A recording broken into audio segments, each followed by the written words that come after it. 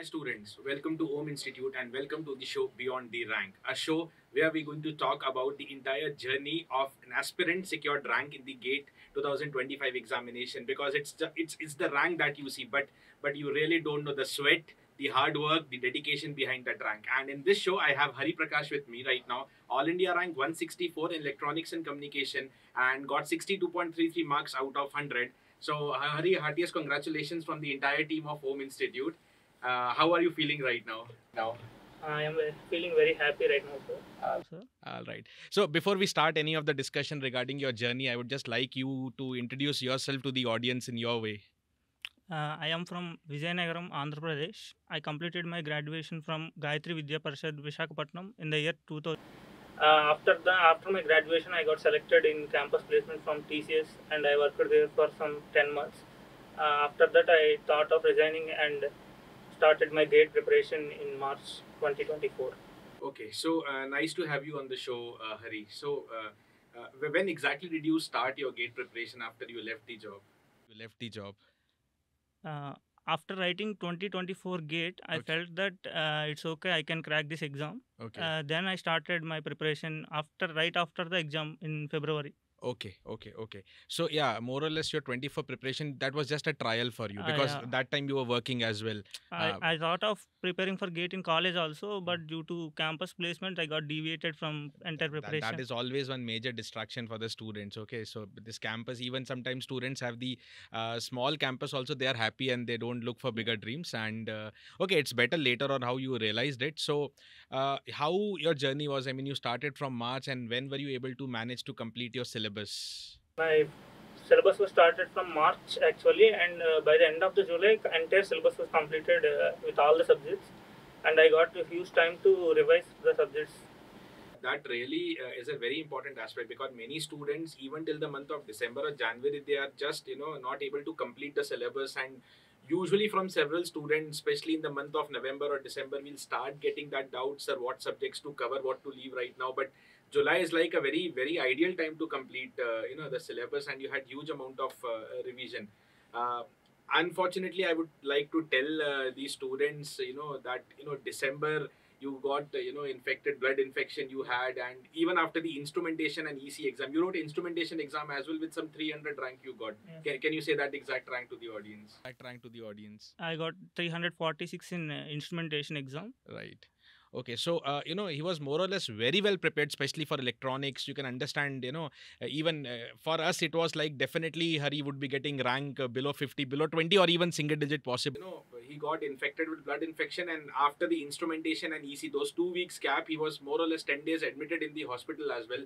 Despite of that on the exam day being not well he gave his best and still uh, able to manage 62.33 uh, out of 100 so uh, hari i would like you to uh, say the students how you managed i mean being infected with typhoid as well blood infection you know how you kept your passion still going on and managed to get good marks Uh, actually, before December, my revision was on the track. I completed revision two times before that only.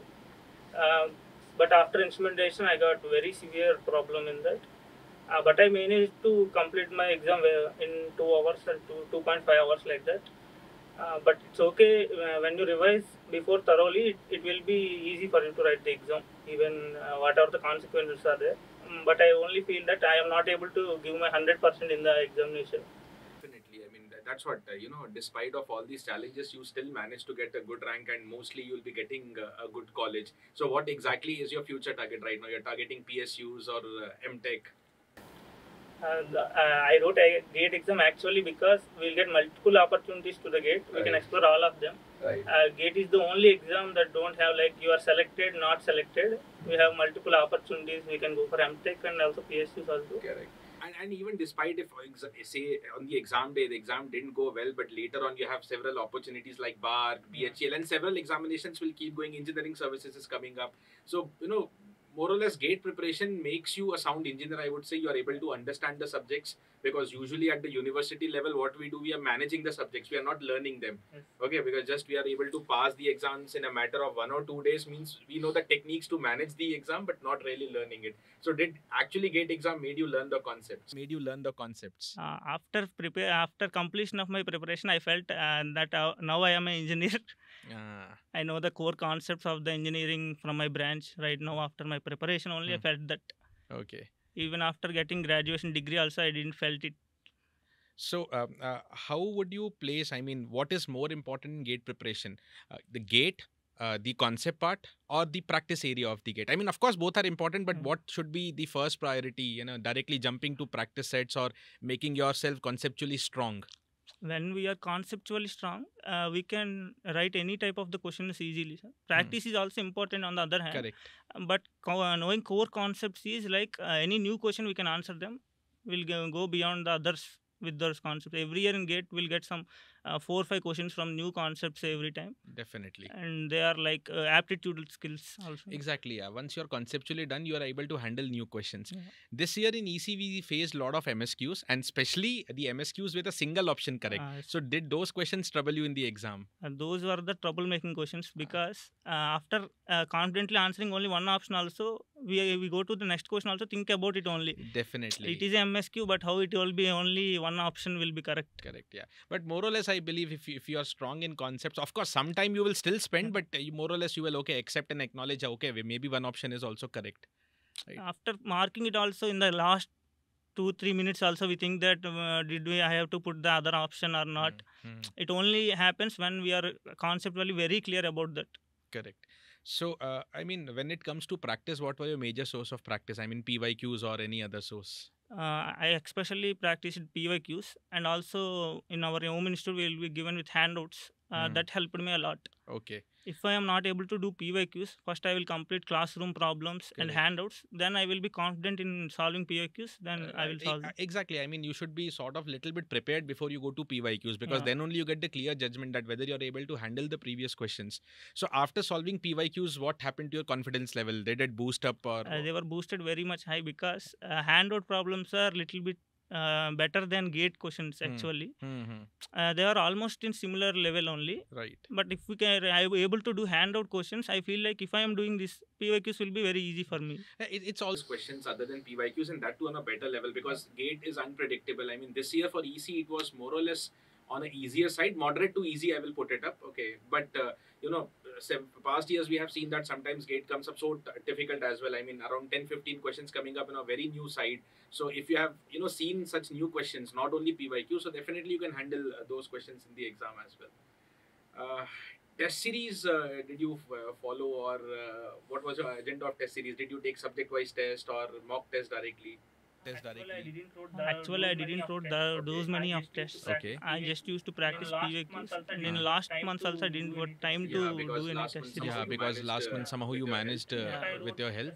but i wrote uh, some three four so those tests, helped you in any So sense those the helped test? you in any Uh, sense it the was test. just to understand it was the just to interface of the understand the examination. interface of the Exactly. How- how it examination will Exactly, be, how, to how it mark will the be questions, how like to mark the questions answered, uh, like mark for answered or review, uh, mark for review uh, that The have to know and time management is So you No. know, you left So your you know, job you and, left uh, your you job started and gate uh, preparation. you So started during gate the entire preparation. phase So of during the preparation entire from phase May of to preparation from February, May to were you in February, constant pressure were that you in have constant pressure compromised that you have job, what will compromised the happen, job, what will happen, what it not will happen? Was it easy for you to take that Uh, call? that was not that was not a easy call for me uh, because uh, after joining job also it was almost one year was completed almost and uh, now I am don't remember any of the concepts uh, even I don't remember networks part also how to solve. I have to start from the base only actually and my family also supported me a lot in resigning the job and start new preparation that's how my pressure got decreased Yeah, it's actually very important, you know, especially quitting a job, you know, uh, leaving apart your finances and all the family support has to be there.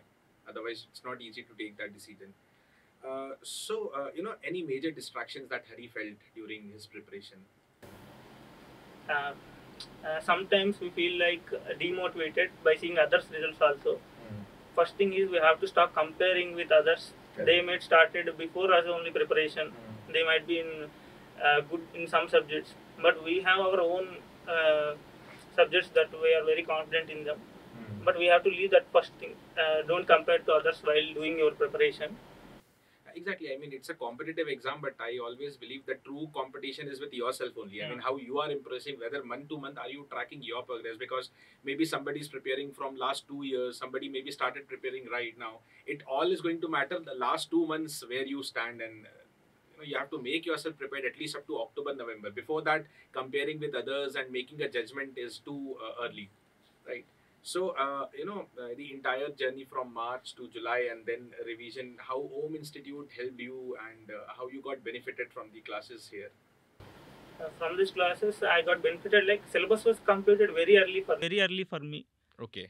S- some people uh, start their preparation in the july august but Mhm. my syllabus was completed at the july i have huge time for revision Okay.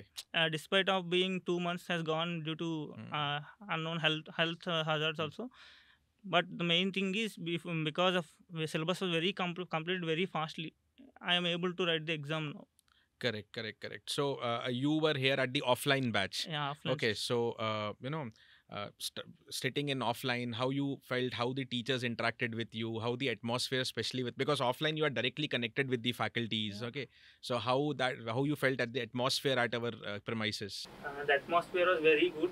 Uh, yeah. During offline classes, the main advantage is we can clear our doubts and at the spot itself. I used to ask the doubts whenever uh, the subject was completed. Instantly after class completed, I will uh, clarify my doubts, Correct. and I go to room without any doubts. any doubts Ah, that is actually good. You know, you can directly catch up your faculty the same Yeah. day, and uh, you know, next day you're not pressurized. You know, you have covered up the previous Yes. part. So, uh, in terms of offline class, also you were having nearly maybe uh, on an average six to seven hours of class per day. Yes. Okay, so after that, uh, were you able to prepare on your own, or were you just tired after the offline class? Uh, actually, I am not tired after the offline class. I used to uh, go to, go go to room and revise the what has happened that day entirely. Correct. I used to practice those problems and revise them. it has to be since you you have taken a pass out badge the co- course goes on morning to evening and since you have taken the decision to drop so ideally you should be ready that at least 10 12 hours you are preparing so even if 7 hours or so goes in the class uh, the rest 3 to 4 hours at least minimum you can manage on your own uh, why I just say this because many students okay they are just following 7 to 8 hours of class but then not uh, you know revising on the entire Yeah. day and if you don't revise on the same day you will keep forgetting the things very easily right While coming to the next day class, we should know what Correct. happened last few days. and and if you're following this uh, you know following this cycle so maybe when you're going to come for the next subject your previous subject is more or less finished yes, right because where where many students fail is okay uh, at some point of time they feel that okay four or five subjects completed for them in the classes but they have done not done it uh, not done anything so you know backlog keeps on increasing for them and there comes a time where they start taking decision whether to go forward or to quit what is there to uh, be done actually, I was also on the same track only. Okay. I, I didn't revise first two subjects. Mm. After three months, uh, I was entirely forgotten what uh, what are the, about the subjects. That's why I started following that thing. Exactly. Uh, at least you realize that this is not going Yeah. right. And uh, usually, you know, every topper, every topper, you know, they'll know their weakness or they'll know what is not going right and they'll try to improve. Okay. The only difference is if you know your weakness, if you know something is going wrong, and if you still die, don't try to improve onto it, maybe you'll not get your expected results. Okay. So, uh, what are you know, if if I have to summarize, you know, any aspirant preparing for Gate 26 or Gate 27, okay, what uh, you know uh, should be the two or three important techniques uh, to the future aspirants? And main technique is only always everyone says it is revision only. Completing the subject is first thing. I used to thought that uh, syllabus completion is everything. I will get the rank, but after completion of syllabus, you have to revise on yourself.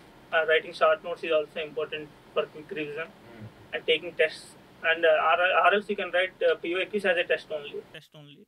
right You will know how much you are able to solve the gate problems. so so you maintained your short notes yes. And when were you making the short note? Because many students have that doubt. Short notes they have to make, but what is the right time? Immediately after class, after practice, after some months. What is the correct way to make short notes? Actually, for me, uh, I started every subject as new subject. If I Mhm. start, if I start to write short notes after completion, I will write everything whatever there is the notes. First, I used to uh, revise the notes and st- write the PYQs exam, uh, practicing complete PYQs. Then I will st- uh, start to write PYQ notes. Because by the time you practice, you you have that personal understanding ki what is more important, what should be there in short notes. Because short notes have to be short. If you just copy the entire notes, maybe just 10-20% reduction, so that won't help you. Help you. I used to. I also used to write important questions in the PYQs for short notes also. Right. While revising them, I also go to those questions and revise those questions also. also. Okay. So, uh, uh, quick answer: MTech or PSU? Finally, MTech, MTech. Uh, IISc Bangalore, IIT Bombay, IIT Madras, IIT Madras, IIT Madras. Analog. Uh, you prefer analog design or you prefer digital design? analog. Okay, cool. So, uh, yeah, it was nice interacting with you, uh, Hari, and uh, you know, I hope your journey, the way you struggled with your health, but still got you know, you know decent marks, all India rank 164, and mostly you'll get your dream colleges, would uh, inspire most of the future aspirants, and that that is the main agenda of performing uh, such podcasts, so that uh, you know students are you know l- you know motivated okay and they keep on listening to such stories so that their preparation also goes smoothly and they are not demotivated during the phase of their preparation so thank you hari once again congratulations and uh, you know we wish you again uh, all the success for your future endeavors Okay, thank you, sir. I want to say one thing. Uh, I have to thank for the OHM Institute for this rank only. okay great This was possible because of OHM Institute only. and we are we are also actually very happy that you know you got up some good rank Yes. and you have performed it right so yeah students so this was beyond the rank with uh, hari prakash and uh, you know every student will have their own uh, journey. So uh, you you have to decide what path you have to take where you have to start up and if you really have to be you know outshining in the upcoming gate examination uh, take your decision soon that you know if you have to start preparation start timely. Thank you. Bye bye